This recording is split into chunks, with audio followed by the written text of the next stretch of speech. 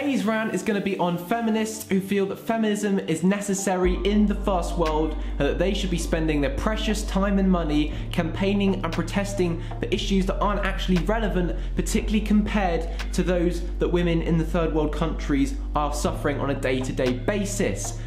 So, without further ado, let me get into what I want to get off my chest. First of all, the gender pay gap. It is an absolute load of rubbish. Now, I can tell a lot of you are going to be wanting to rage out at me in the comments, but just hold up for just a couple minutes while I explain my point.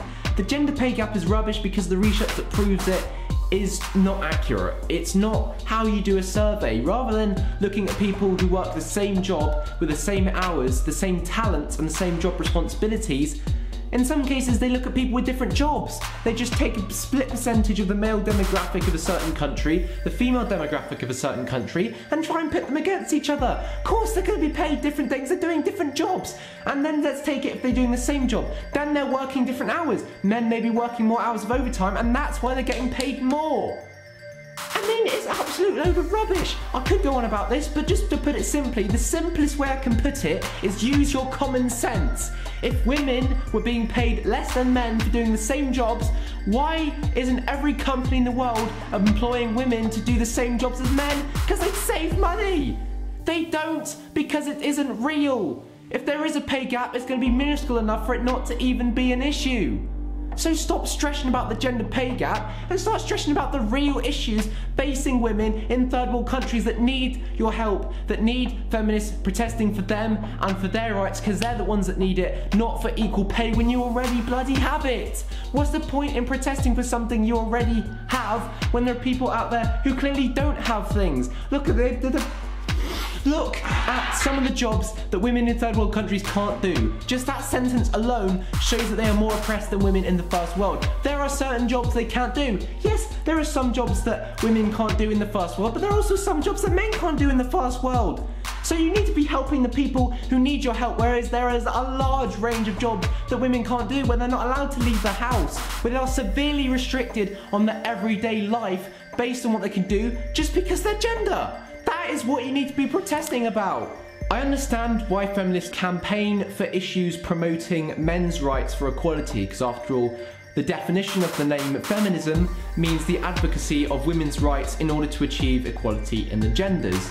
So nowhere in there does it say, you know, promoting men's rights because they feel that men are automatically more advantaged over women, but there are many cases in which men's rights aren't being protested about as much as they can. And I don't have a problem with feminists not protesting for these rights. After all, I wouldn't expect them to. The whole definition of feminism doesn't include that. But what I then don't want them doing is then protesting at these male rights protests. Like, come on! Don't use your time and money protesting against male rights and then be surprised when people think you hate men. I know feminists don't hate men, but you've got some jackasses out there putting a heart and soul into trying to prove otherwise.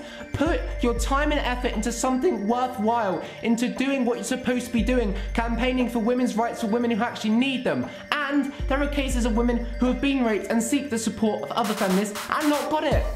They just haven't got it because the feminists don't want anything to do with them. They don't want to support them. If you think I'm over dramatizing, I'll leave a link in the description of this video to a video of someone explaining it in more detail. And also, you've had feminists campaigning about video games, uh, objectifying women, and I can sort of see where they're coming from, but one even started a crowdfunder to start a game and a series exploring video games and how they objectify women. It got $170,000 raised.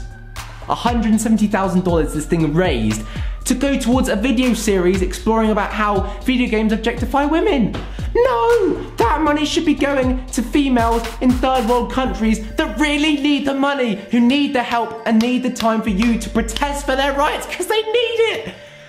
Not you stupid middle class white women thinking you're underprivileged and there's some sort of patriotic men, patriarchy of men that's out to get you. That is a load of utter rubbish and your problems are nothing compared to the issues that some of these women are facing. So please use your time and energy to go out and protest for these women to get the rights not deserved and not just being miserable over something that is nothing in comparison to the sort of stuff they're going through, particularly if you're calling yourself a devout feminist. If you are a devout feminist, be a devout feminist, not a devout feminist Nazi who's completely delusional and are just bringing hate upon feminists that isn't justified because you're just giving feminists a bad name.